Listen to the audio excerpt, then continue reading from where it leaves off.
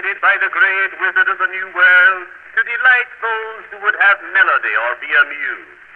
I can sing you tender songs of love. I can give you merry tales and joyous laughter. I can transport you to the realms of music.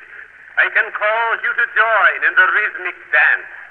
I can lull the babe to sweet repose, or waken in the aged heart soft memories of youthful days. No matter what may be your mood, I am always ready to entertain you.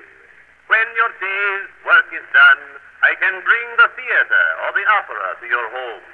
I can give you grand opera, comic opera, or vaudeville.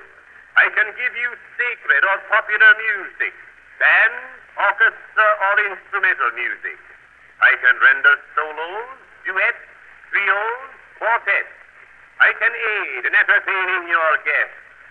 When your wife is worried after the cares of the day and the children are boisterous, I can rest the one and quiet the other. I never get tired, and you will never tire of me, for I always have something new to offer. I give pleasure to all, young and old. I will go wherever you want me, in the parlor, in the sick room, on the porch, in the camp, or to your summer home. If you sing or talk to me, I will retain your songs or words and repeat them to you at your pleasure. I can enable you to always hear the voices of your loved ones, even though they are far away. I talk in every language. I can help you to learn other languages. I am made with the highest degree of mechanical skill. My voice is the clearest, smoothest, and most natural of any talking machine.